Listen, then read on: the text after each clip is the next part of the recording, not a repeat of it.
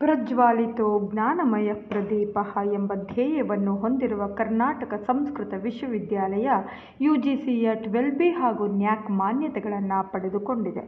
ಕರ್ನಾಟಕ ಸಂಸ್ಕೃತ ವಿಶ್ವವಿದ್ಯಾಲಯವು ವಿಶ್ವವಿದ್ಯಾಲಯದಲ್ಲಿ ಹಾಗೂ ಕರ್ನಾಟಕದಲ್ಲಿ ಹರಡಿರುವ ಸಂಯೋಜಿತ ಸಂಸ್ಕೃತ ಕಾಲೇಜುಗಳಲ್ಲಿ ಸಂಸ್ಕೃತ ಭಾಷೆ ಮತ್ತು ಸಾಹಿತ್ಯ, ವೇದಾಂತ, ಅಲಂಕಾರ, ವ್ಯಾಕರಣ, ನ್ಯಾಯ ಮತ್ತು ವೈಶೇಷಿಕ, ಹಸ್ತಪ್ರತಿಶಾಸ್ತ್ರ, ಸಾಂಖ್ಯ ಮತ್ತು ಯೋಗ, ಸಮಾಲೋಚನೆ ಮತ್ತು ಯೋಗ ಚಿಕಿತ್ಸೆ ಹೀಗೆ ವೃತ್ತಿಪರ ಕೋರ್ಸ್ಗಳನ್ನು ನಡೆಸುತ್ತಾ ಬಂದಿದೆ. B A M A M S C P G diploma diploma, certificate course, ವಿದ್ಯಾವಾರಿಧಿ ಅಂದರೆ ಪಿ ಎಚ್ ಡಿ ಪದವಿಗಳನ್ನು ಸಂಸ್ಕೃತ ವಿಶ್ವವಿದ್ಯಾಲಯವು ನಡೆಸುತ್ತಿದೆ. ಲರ್ನಿಂಗ್ ಮ್ಯಾನೇಜ್ಮೆಂಟ್ ಸಿಸ್ಟಮ್ ಮುಖಾಂತರ ವಿದ್ಯಾರ್ಥಿಗಳ ಕೋರ್ಸ್ಗಳಿಗೆ ಸಂಬಂಧಿಸಿದಂತೆ ಅಧ್ಯಯನ ಸಾಮಗ್ರಿಗಳನ್ನು ನೀಡುತ್ತಿದೆ. ವಿದ್ಯಾರ್ಥಿಗಳ ಸುಲಭ ಸಂಸ್ಕೃತ ಶಾಸ್ತ್ರಾಧ್ಯಯನಕ್ಕಾಗಿ ಸ್ಮಾರ್ಟ್ ಕ್ಲಾಸ್ ರೂಮ್ಗಳನ್ನು ಬಳಸಲಾಗುತ್ತಿದೆ. ಸಂಸ್ಕೃತ ನೆಟ್ ಮತ್ತು ಸ್ಲೆಟ್ ತರಬೇತಿಯೂ ಇಲ್ಲಿದೆ.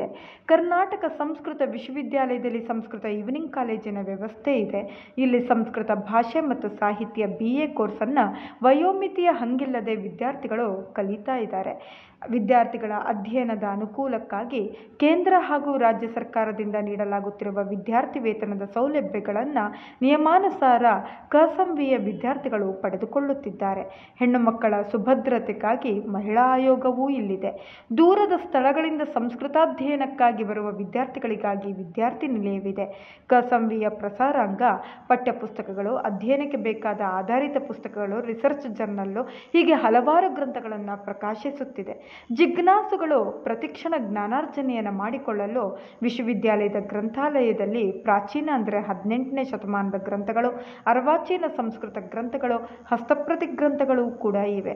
ವಸ್ತುತತ್ವಾವಧಾರಣಂ ಹಿ ಪರೀಕ್ಷಾ ಎಂಬ ವಾಚಸ್ಪತ್ಯಂ ಸಂಕಲನದಂತೆ ಪಾರದರ್ಶಕ ಮೌಲ್ಯಮಾಪನದ ವ್ಯವಸ್ಥೆ ಇದೆ.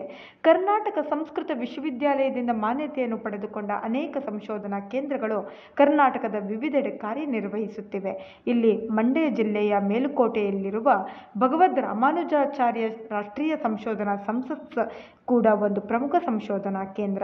ಇಲ್ಲಿ ಐದು ಸಾವಿರಕ್ಕಿಂತಲೂ ಅಧಿಕ ಪ್ರಾಚೀನ ತಾಡಪತ್ರ ಗ್ರಂಥಗಳು ಹಾಗೂ ವಿವಿಧ ಶಾಸ್ತ್ರಗಳಿಗೆ ಸಂಬಂಧಿಸಿದ ಮೂವತ್ತೊಂದು ಸಾವಿರಕ್ಕೂ ಅಧಿಕ ಪುಸ್ತಕಗಳು ಇವೆ.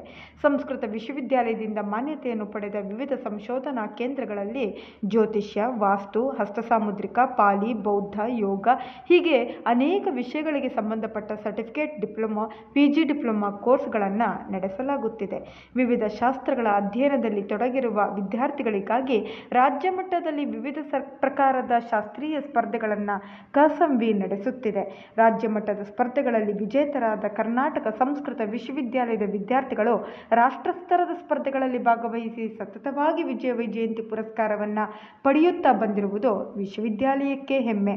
ಪ್ರತಿ ವರ್ಷ ಸಾಂಸ್ಕೃತಿಕ ಕಾರ್ಯಕ್ರಮಗಳು, ವಾಕ್ಯಾರ್ಥ ಸಭೆ, ಅವಧಾನ ಕಲೆ, ಶಬ್ದ ಪ್ರಯೋಗ ಶಾಲೆ, ಶತಶ್ಲೋಕೇನ ಪಂಡಿತ ಹೀಗೆ ಹಲವಾರು ಕಾರ್ಯಕ್ರಮಗಳನ್ನು ಆಯೋಜಿಸುತ್ತಾ ಬಂದಿದೆ.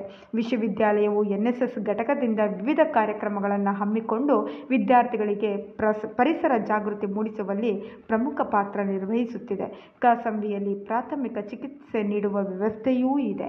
ಕಸಂಬಿಯ ಅವಿಭಾಜ್ಯ ಅಂಗವಾಗಿರುವ ಸಂಸ್ಕೃತ ಶಿಕ್ಷಣ ನಿರ್ದೇಶನಾಲಯವು ಸಂಸ್ಕೃತ ಪ್ರಥಮ, ಕಾವ್ಯ ಮತ್ತು ಸಾಹಿತ್ಯ ಹಾಗೂ ವೇದ ಪ್ರಥಮ, ಪ್ರವೇಶ ಮತ್ತು ಮೂಲ ತರಗತಿಗಳನ್ನು ನಡೆಸುತ್ತಿದ್ದು, ಪ್ರಸ್ತುತ ಕರ್ನಾಟಕದಾದ್ಯಂತ ಏಳ್ನೂರ ಇಪ್ಪತ್ತೊಂದು ಅನುದಾನ ಸಹಿತ ಹಾಗೂ ಅನುದಾನ ರಹಿತ ಸಂಸ್ಕೃತ ಪಾಠಶಾಲೆಗಳು ವಿದ್ಯಾರ್ಥಿ ನಿರ್ದೇಶನಾಲಯದ ಅಧೀನದಲ್ಲಿ ಕಾರ್ಯನಿರ್ವಹಿಸುತ್ತಿವೆ. ಇಲ್ಲಿ ಒಂದು ಲಕ್ಷಕ್ಕೂ ಅಧಿಕ ಮಕ್ಕಳು ಅಧ್ಯಯನ ನಿರತರಾಗಿದ್ದಾರೆ. ಪ್ರಸ್ತುತ ಬೆಂಗಳೂರಿನ ಹೃದಯ ಭಾಗದಲ್ಲಿರುವ ಚಾಮರಾಜಪೇಟೆಯಲ್ಲಿರುವ ಕಸಂಬಿ ಕಟ್ಟಡದಲ್ಲಿ ಆಡಳಿತ ಹಾಗೂ ಶೈಕ್ಷಣಿಕ ಕಾರ್ಯಕ್ರಮಗಳನ್ನು ವಿಶ್ವವಿದ್ಯಾಲಯ ನಡೆಸುತ್ತಿದೆ.